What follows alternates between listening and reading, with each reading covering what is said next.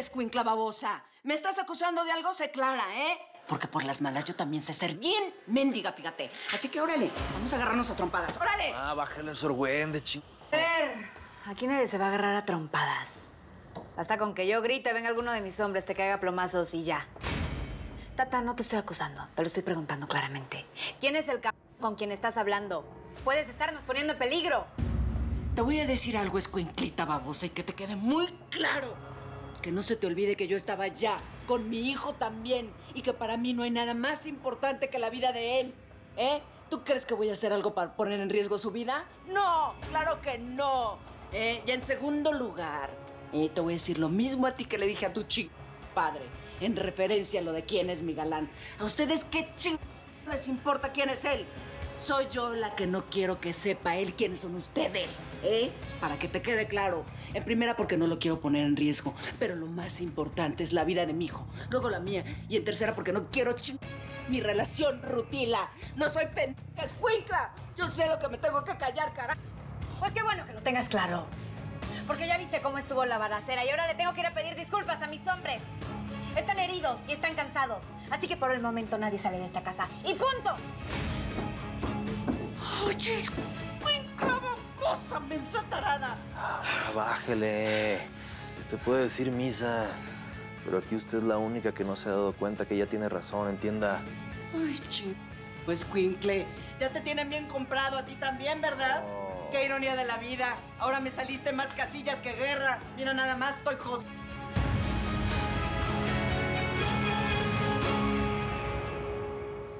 Bueno, ¿y este cabrón no va a venir o qué chido? Ya va a llegar, hombre. Tranquilo. No, que muy puntuales, pues. Mira, nomás arreglamos este asunto con el suizo. Vemos a nuestra gente en España y nos regresamos para Colombia. Está bien. Vale. Víctor. Eh, hablando del rey de Roma, vamos a salir de esto de una buena vez. ¿Ok? Wilhelm. How are you, man? Good, good. How are you? ¿Cómo va todo?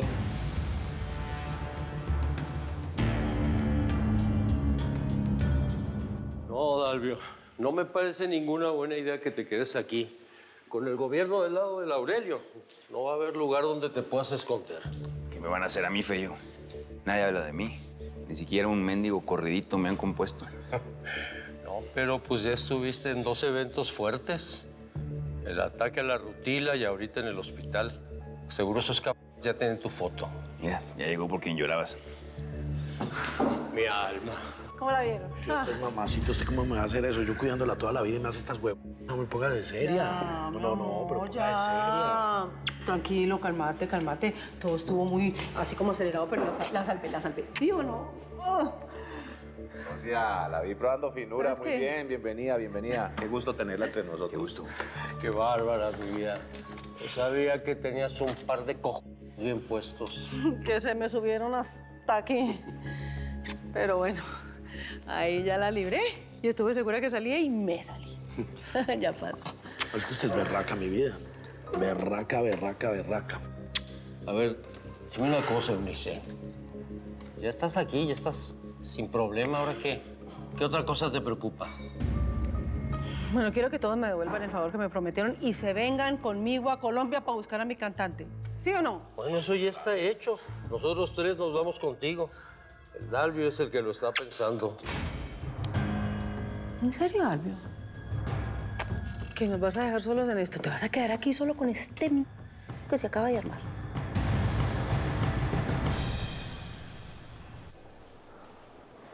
Jorge, ¿terminó su declaración? Sí, ya Esperanza debe estar por terminar. ¿Cómo dejaste a Omar? Mal. Es una mezcla de emociones, pero no es para menos. Cara, Jorge, es que se nos salió de las manos. Mira, Rodrigo, no logramos nada con lamentarnos. Sabíamos de la amenaza de Carreño, pero ni yo mismo pensé jamás que iba a hacer algo así. A mí Carreño me fue a ver una vez a Panamá. Se puso bruto. Siempre me ha parecido un hombre ordinario, bocón. Que de ahí a esto. Esto va a traer problemas a todo nivel. Posiblemente tenga que viajar a Venezuela. Jorge, no creo que deba hacerlo pronto. No sé, Lo sé, pero igual tengo que hablar con mi presidente. Tengo que rendirle un informe de todo esto. Tengo que... El c... de su madre Carreño que viene a hacer toda esta vaina. Ahora sí que todo se salió de control, mi querida Eva. Esas son las consecuencias de la impunidad, Ramiro. Gracias. ¿Cómo se atreven a atacar un hospital en medio de la ciudad? Caramba, ¿cómo van a poner una bomba en una universidad? Pues pasó, querida, pasó. Ahora tenemos que pensar muy bien qué es lo que sigue, qué es lo que vamos a hacer. La muerte de Abel Terán va a generar muchísimas reacciones, ya verás. Seguro, seguro. Pero todo estaba bien, estaba en calma. Yo sé que. Con permiso. Llegó.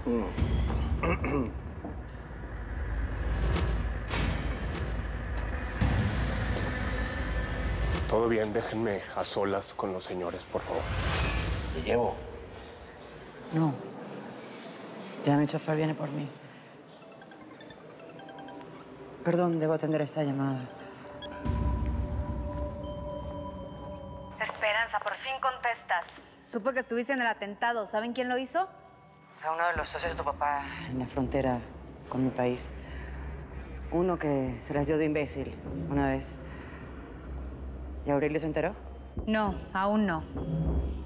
Yo ya ahora voy para la clínica. ¿eh? La verdad no sé si contarle o no contarle. Ay, esto va a joder mucho las cosas. Igual se lo voy a tener que decir.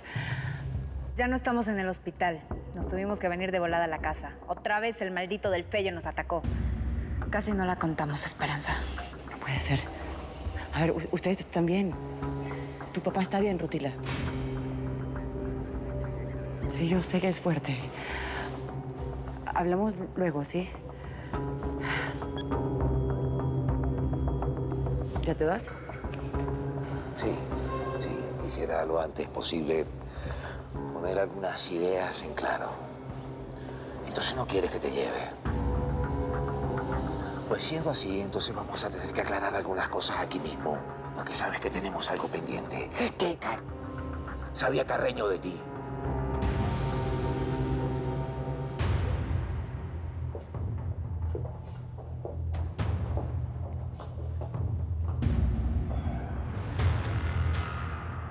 ¿Quién fue? ¿Quién ching dio la orden de que mataran a mi papá? Deberías calmarte, ¡Me calmo un cal... Eva! ¿Fueron ustedes? Quiero la verdad. Quiero una reunión con Aurelio Casillas ya. Un gusto hacer negocios con usted. El placer es mío. ¿Le dije o no le dije que era un papayazo venir a hacer negocios acá? ¿Mm? Ahora sí vamos a entrar a las grandes ligas.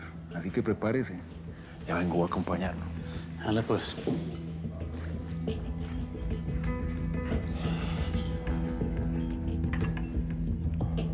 ¿Por qué no sueltas lo que traes de una vez, Víctor? ¿Eh? ¿Qué pasa? Más bien tú dime, Mónica. O deberías de respondértelo a ti misma. ¿Por qué será que cada día te siento más lejos de mí y más cerca de Laura, Aurelio? ¿Por qué siempre te pones a su favor y en contra mía, pues? Dime la verdad, Mónica. ¿Ya te arrepentiste de haberte metido conmigo? ¿O ya te metiste otra vez con él?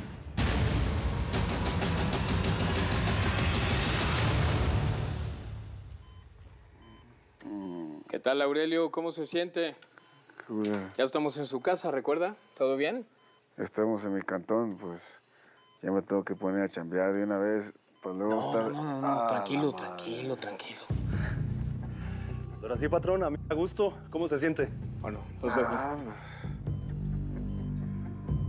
ya me pusieron la nueva refacción, usada, pero bueno, vamos a ver cómo funciona. Ya me dijo la rutila que les tocó echar bala. que Hubieron guerra, ¿no? Pues delante de su patrón les quiero ofrecer una disculpa si los llegué a tratar mal. Pero hay que estar pilas. No estamos como para confiar en nadie. No se preocupe, señorita. De no haber sido así por su desconfianza hacia nosotros.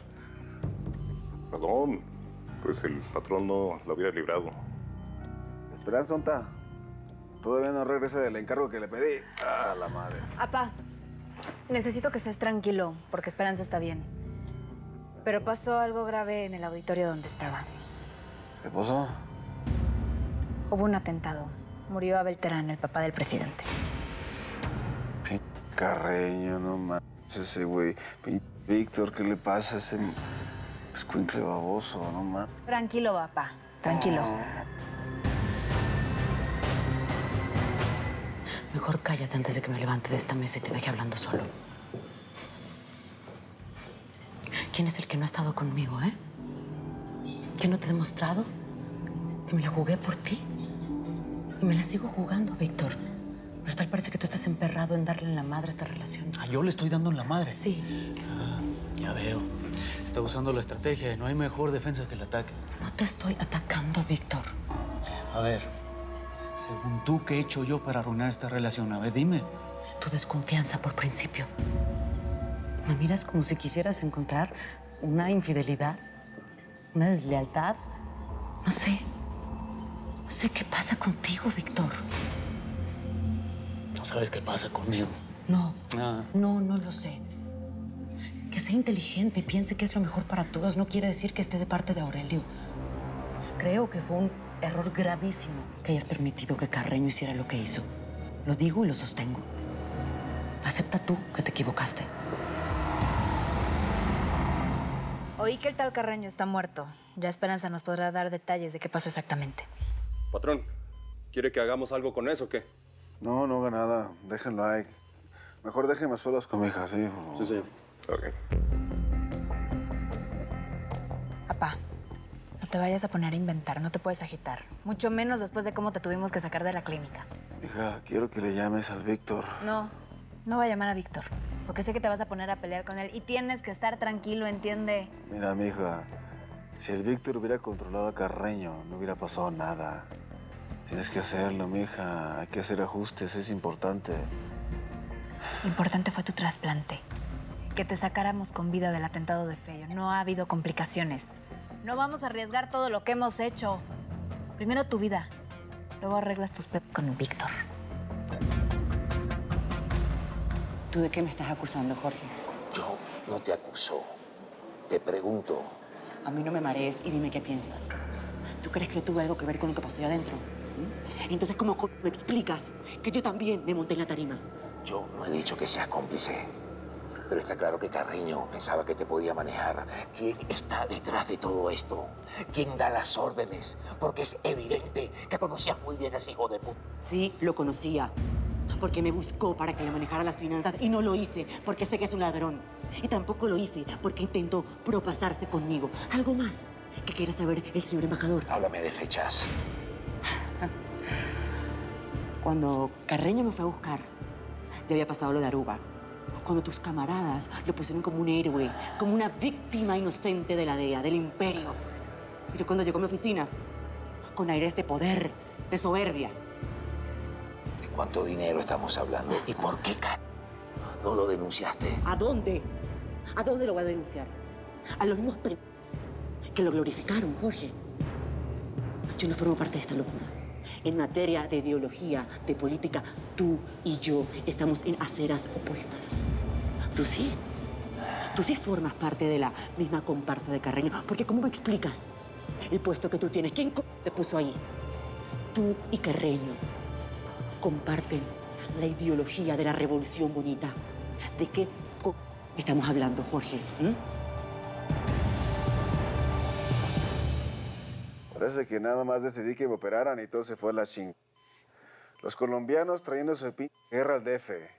El fello con ellos queriendo ching. Y encima, el super pedo de Carreño le da por chapulinearme y se la cobra Salazar. ¿Qué pe... ¿Qué está pasando, hombre? ¿Por eso fue el atentado? ¿Por eso se echaron al papá de Omar? Y por eso quiero platicar con el pinche Víctor. Porque él llevó a parar a esta madre. Él tenía que tener todo el pinche control. ¿sí me Papá. entiendes? Quedamos que íbamos a hablar sin que te agitaras. Estás vivo. Y también la Tata y el Ismael, alégrate. Serán un ejército y ni así pudieron. Nuestra gente los mandó al cara. Nos la pelaron, ¿ah? La pescaron, nos cabrón. Ahora sí me pongo contento, mija. ¿Sabes qué dijiste? Nuestra gente. con esto del hospital. Demostraste que saliste igualita a mí. Tienes instinto, mija. Eres desconfiada. Y tú sola pudiste con todo ese pe comandar esos capos. Hasta el chico médico te trajiste. Bueno, no le quedó de otra. Y aquí se va a quedar hasta que estés bien. Si me estás acusando de algo, más te vale que tengas pruebas, Omar. Y bájale de huevo. Porque yo no tengo por qué aguantarte ese tonito. Eva, por Dios Suéltame. santo. Omar está afectado. Me vale madres. Y con sobrada razón. Omar, por favor, trata de serenarte. Me sereno una ching... Y esta pin... víbora venenosa me va a oír. Que te oiga tu madre infeliz. Y aguántalo tú, Ramiro. Yo no sé cómo permites que me hable en ese tono. Pero ¿sabes qué? No te necesito para defenderme. Y tú, ca... te vas a tragar tus palabras. De mí te vas a acordar. Claro que me voy a acordar de ti si las pesadillas no se olvidan nunca. Por favor, Eva. Eva. No, no, por no, favor. déjame, En déjame. alguien tiene que caber aquí la prudencia, además de mí. No nos podemos dividir en estos momentos. Me van a negar que fueron ustedes. Quiero ver al malnacido de Aurelio Casillas, a ver quién fue si no. A ver, Omar, mejor pregúntale a tu gente, a tu gente de la Secretaría de Seguridad, a Rivero Lanz. ¿Cómo ca les pudo pasar una cosa así? Es inconcebible. ¿Cómo nos vienes a acusar a nosotros? Que somos de tu mismo equipo, estamos en el mismo barco. Además, para tu información, Aurelio Casillas está ahorita tendido en una plancha, en terapia intensiva, luchando por su vida. Y fue él quien propuso que cesara la guerra, que viniera la paz. Omar, fueron los colombianos, los colombianos que vinieron aquí a romper ese pacto de paz y a convulsionar la Ciudad de México. Mí no me da miedo que el Aurelio Casillas ande detrás mío. Y la verdad, el ejército me vale madres. Pero quiero que piensen una cosa. No podemos dejar el negocio sino más a la buena de Dios. Al ojo del amo, engorda el caballo. No, pues si la pone así, tiene razón, ¿no, Alfredo? No, pues sí. A mí me gustaría quedarme contigo, Dalvio. Pero le prometí a Leonice acompañarla a Colombia para ayudarla. ¿Y usted sí tiene dónde esconderse, ingeniero? Tengo muchas casas de seguridad y bodegas por todo el país. Además mis túneles son un laberinto. Ah, bueno. Pues si está tan tranquila, a mí me parece muy sensato que se quede acá cuidando los intereses de todos, ¿o no, muchachos?